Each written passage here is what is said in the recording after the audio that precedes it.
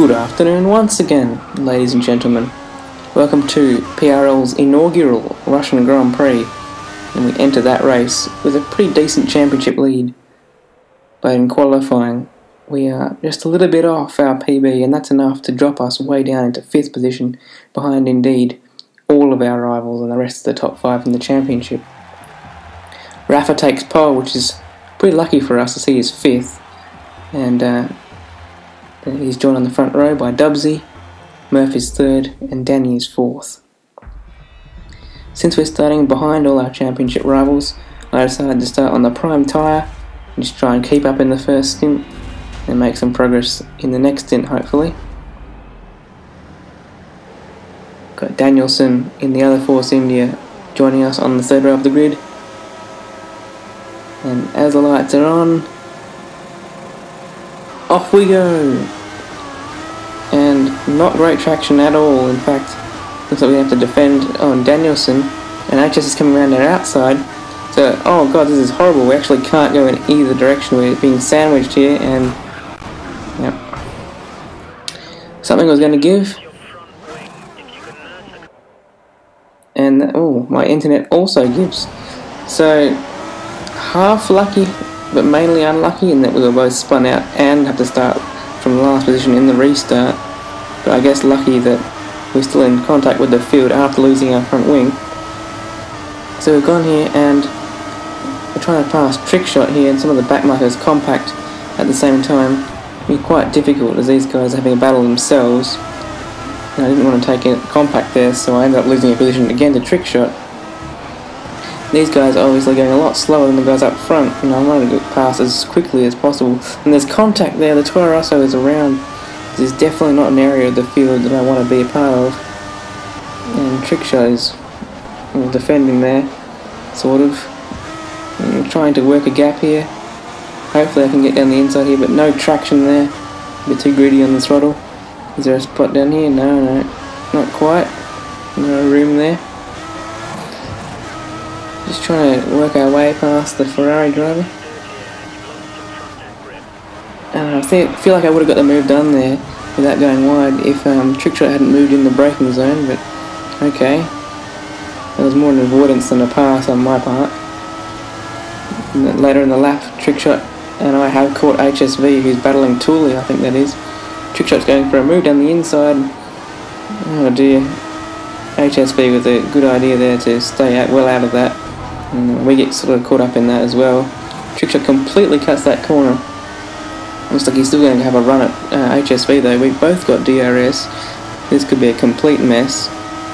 I'm going to go down the inside. We're going to go three wide. And oh, Trickshot's just clobbered the wall, but he's still somehow on the left of us. We've gone past HSV, who couldn't be too happy with that. We've got a good run here though on the Ferrari driver.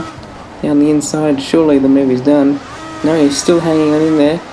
He's going to cut that corner and uh, give us no room and take. Are you serious? We have a puncture, a penalty, and no front wing. Well, this is the problem you get when you have to try and work through back markers. And uh, I asked for that penalty bit to be removed by the stewards, and indeed it was. Trickshot also received a grid penalty for the next race. So I guess sort of justice served that has cost us a lot. We are last and 21 seconds down on ninth. This is horrible. As a championship leader, this should not be happening. We have undercut two cars there, but having to pit so early on means that we're absolutely screwed in terms of strategy. There's another two cars coming out of the pits here on lap, I think it's the end of lap 8, so they they have much better tyre condition than I have right now. I think it's Tooley and HSV.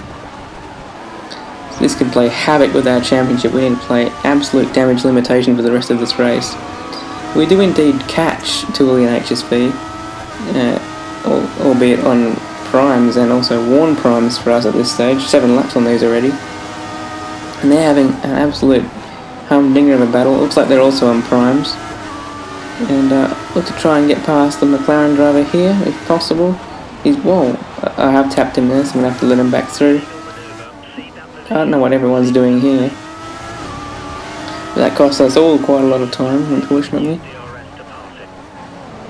They're still going at it though, and Tooley has made a move there on HSV. Sort of bottle the Red Bull driver up as we lose compact. Is there an opportunity for me to get past the Red Bull? Almost contact there. Unable to get past again, and oh, I had to be worried that the same thing was going to happen between HSV and I there has already happened with Trickshot and I earlier in the race. So I wait till the next opportunity, that's a DRS move quite easily for turn 1. And quite a few laps pass and I'm unable to get past Toolies. My tyre life is just absolutely horrific. And we still got HSV right behind, so I've decided at the end of this lap I will pit and I'll have to go as we lose the rear there and a position to HSV. I'm going to go on to another set of primes, only spend 3 laps on options. My preferred strategy was to actually do 2 option stints. So, wow, we've just, so much was lost in that incident with Trickshot, it's unbelievable. You know, we're going to exit the pit lane in second to last position, only Trickshot behind. But of course, we will undercut these guys. But they're going to be putting options on, so that might be a problem towards the end of the race. That's HSV there. And next lap, Tooley in the pits. We're actually quite a way ahead of uh, both of them, so should be fine. At least 6th position. And it's 10 seconds up the road to 5th. That's my only real target for the rest of the race, to grab 10 points. We cut it down pretty much. 2 seconds a lap maybe? No, not quite. 1.5 seconds a lap. And it's down to 3.5 on the penultimate lap. And uh, Rafa goes on to win the race, thank gosh, as he is the furthest away from us in the championship of the top five. We're catching Danielson, it's just two seconds. But, uh, oh, it's starting to rain there as well. I guess damage limitation. He does have a penalty, so this promotes me to fifth with my penalty being removed. And the other thing that's quite lucky in this unlucky race for us is that when we see the results screen at the end, the top five is actually in the complete reverse order of the current championship order, so losing progressively less points to the people closer to me in the championship. Danny with second position, great effort there. Dubsy in third, and Mev in fourth. We grabbed fifth from that, and that's the result. Drivers closing on me, but not the end of the world. I've been Jacko. See you next time.